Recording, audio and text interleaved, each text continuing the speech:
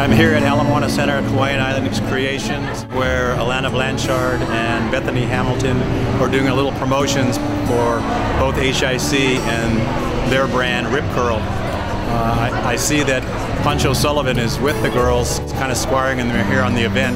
So let's see if we can say hi to Pancho Sullivan and see what he has to say about his very first surfboard. All right, the um, very first surfboard I ever owned uh, was a Dick Brewer uh, twin fin, and um, I, I want to say it was 5'2".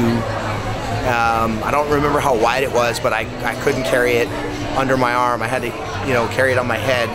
Um, and uh, I kept bugging my mom for about six months. I wanted a surfboard. I wanted a surfboard, and and uh, I just I couldn't believe it when I woke up in the morning. I think it was uh, I got it for my birthday, and I was just just completely over the moon. And it was I, I remember it was like a blue, kind of a like pale blue airbrush, um, and it had like a yellow pinstripe uh, on the rail, and uh, that was uh, probably the best birthday present that I ever got.